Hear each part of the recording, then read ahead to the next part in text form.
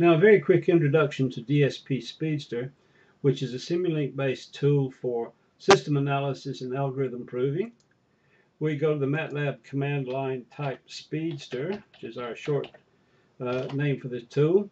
Up comes a splash panel which uh, shows us the 20 different compartments or libraries which hold up hold the blocks that make up this this tool. Uh, if I click on this one, for example, I see a bunch of signal generators, primarily in this area here. And I also then see some blocks which have been brought in from mainstream Simulink and parked locally here for easy reference so that we don't have to dig too deeply down into to the Simulink libraries to get our hands on those. And we can we, we've elevated these because we think these are particularly useful ones that we often have to get our hands on. Uh, otherwise, inside these blocks, we've built uh, them up from the elemental Simulink uh, blocks inside, uh, and or we have uh, we've uh, written code in, in M files to put inside those. Now, of all of these compartments, the most important one probably for beginning with this tool is to go to the demos. There's a range of different demos here the theme is primarily communications instrumentation, but also filter uh, information as well is treated. So here's one where we look at filters. I just click on that, move these panels down out of the way, uh, and I have here a simple model where I have a filter which is being interrogated uh, by this impulse uh, train, which comes in periodically from this signal generator. And two things happen. One is I ha have experimental measurement results coming out here on a uh, single trace signal analyzer. But I also have a block here which is connected to the internal mechanics of this filter. And it knows from the MATLAB B vector, the coefficient vector, uh, what theoretically we should be expecting. So this is a sort of a, a, a theoretical internal analyzer. Doesn't depend on the measurements outside. Now, uh, I click on this. This is my controller, little controller block here, which enables me to move, in this case of a low-pass filter, the band edge, shape it perhaps sharper or not, and I see correspondingly the impulse response on this scope up here, and the corresponding transfer function magnitude down here.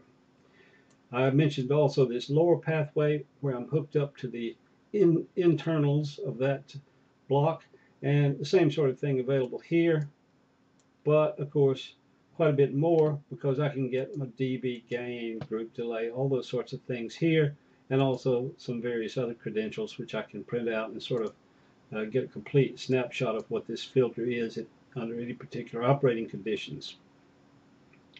So filters do figure prominently in this tool, and they occupy quite a number of these libraries in this central region right here.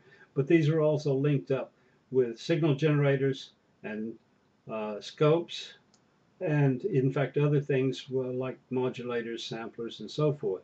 So if I go in here, get myself first off a piece of blank paper, you could say, an empty model window, grab myself a a block here, which is a, uh, well, I seem to have gotten two, for the price of one there when I picked it up. Uh, so this is some sort of uh, linear pulse generator.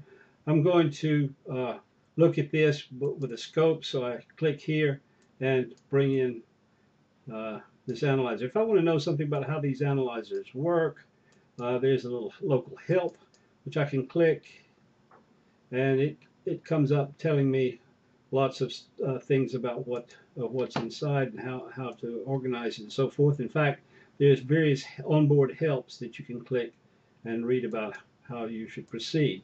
The most information really comes from the demos because there, in this in this library here, you can see uh, not only the themes of, the, of each of these uh, subjects, but also uh, we can get some written information about it and usually some references as well. So these demos represent a pre-built uh, miniature DSP and comms course, which you can go through. But building your own is no big deal either. You just wire them up and you run it. And similarly uh, to the controls we had a while ago, we quite often have controls on the signal generator so that I can see for the wider pulse, the more tightly compacted spectrum and vice versa. I can save this model. I can save it to uh, my own area down here where I have some keepsakes or I can store it elsewhere in my MATLAB filing system. Okay, uh, we have uh, then this range of signal sources, signal sinks, and modulators of various sorts, nonlinear memoryless devices, and all the rest. So we have a terrific range of systems that can be built without writing a single line of, line of code.